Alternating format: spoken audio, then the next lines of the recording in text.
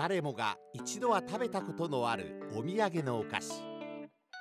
いただいたら笑顔になるそのお菓子はもしかすると石川県加賀市で作られたものかもしれません。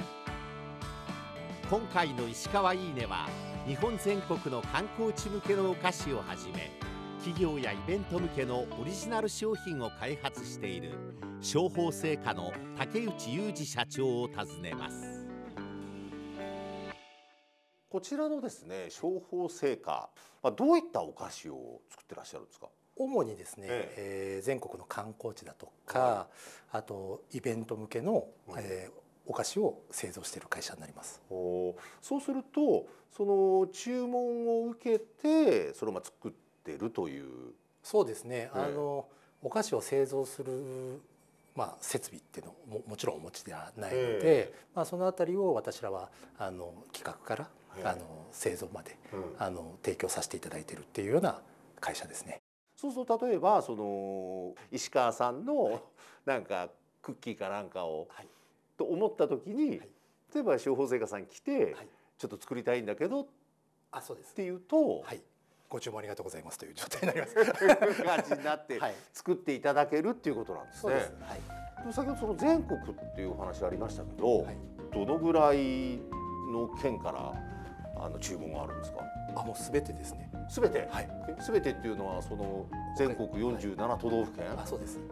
我々も知らず知らずにおそらくなんか司法製菓さんの作ったお菓子って1回2回や3回食べてるんでしょうねきっと。じゃないかなと思います。お菓子の種類って言ったらどれぐらいあるんですか？えっ、ー、と1000を超えてると思いますね。1000を超える、はいはい、えすごいですね。あもともとはお餅をメインでやってた会社なんですけども、あのやはりこうお客さんの要望というのがだんだんだんだん広がってきて、うん、まあ、私らもこう勉強しながら拡大していったっていうような感じですね。うん、そうなんですか、はい。やっぱり、まあ、あの商品自体のあの基本性能としては例えば賞味期限を少し長く持たせたいとかっていうこともありますしやっぱりその地域のオリジナリティっていうのを出してほしいっていうのがやっぱりありますし、まあ、すごく細かく対応していかなきゃいけないころは少し違いますかね。でも逆に言うとその商法成果っていう名前自体があんまりこう表に出てこない仕事ではありますかねこれね。そうですね。世間はい。まあ黒子的な立場かなと思います。はい。そのあたりは社長としてはどんな感じなんですか？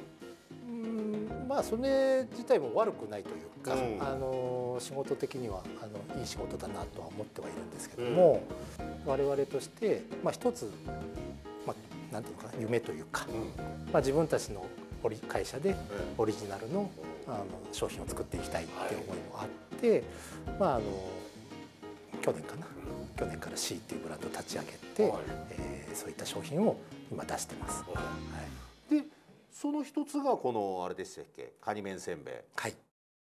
まあ金沢ならではのお土産を作りたいっていう思いがやっぱりありまして、どうせ作るのであれば、やっぱ金沢の人たちに愛されるお菓子がいいなと思ってですね、まあ、名物であるカニ麺のせんべいを作ろうと思いまして。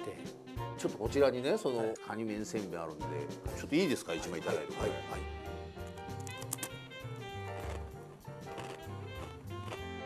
味と食感となんかすごい両方同時に楽しめて後口がいい感じでなんか残ってこれはなんですかいいいいですね。はい。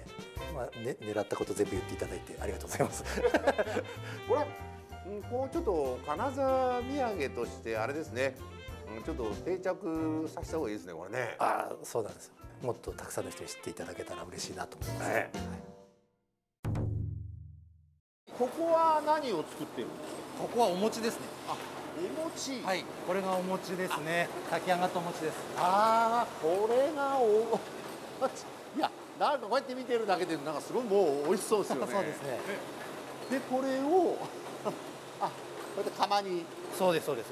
入れるというちょっとだから色がだんだんついてきましたけど。まあ今色付けですね。このお餅は色付けして出荷する商品になりますんでお餅のこだわりみたいなのってあるんですか？やっぱり北陸のお餅っていうのは、もう優しい甘みであのすごく滑らか滑らかな餅滑らかなんですか、はい、だからまあそういったものに仕上がるように、うん。あのしっかりこう各工程いろいろな、まあ、ことを決めてですね気をつけてやってます。えーここはどういう工程になるんですか、ここはさっき炊き上げた秋の炊き上げたお餅をですね、えーここでお餅の団子団子状というかにする機械ですね。これ今入れてるのは、はい。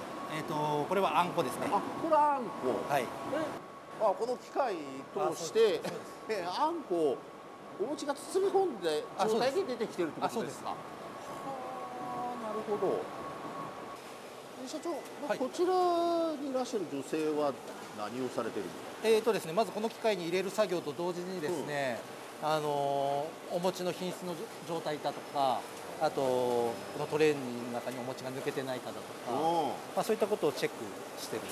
あそうなんですか、は機械化はされてますけれども、はい。まあ、要所要所です。やっぱり人がそうですそうです。確認をすると。そうです。あの機械で検査もしてるんですけども、やはりあの漏れてしまうものっていうのも出てくることもありますので、うん。機械の限界がありますので、まあ、一応人の目であの確認はしてままあ最後はマンパワーというかね。す そうですね。はい。重要なんですねここがね。そうそうですそうですそうです。社長がなんかそのこうお菓子作りで本当こだわってらっしゃることってのは何かあるんですか？もうこれ本当当たり前の話なんですけど、まあ、一番のこだわりはう安心であり安全であるということはまあもうこれは外せなく一番に思ってます。